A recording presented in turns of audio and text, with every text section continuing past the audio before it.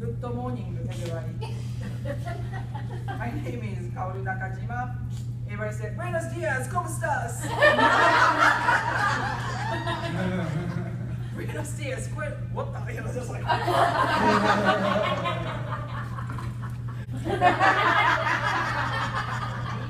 and go outside, pick up my shit. Okay, I got it. It's my first job. Okay, yes, you know. So I outside. Shit! Shit! shit! I go to shit, pick up the shit. Right? So then I turn around. Uh, no shit. She's like, what? You know, and I'm like, oh, come here, her. This is shit. no, this is a poo poo. She said, no, this is a shit. No, this is a poo poo.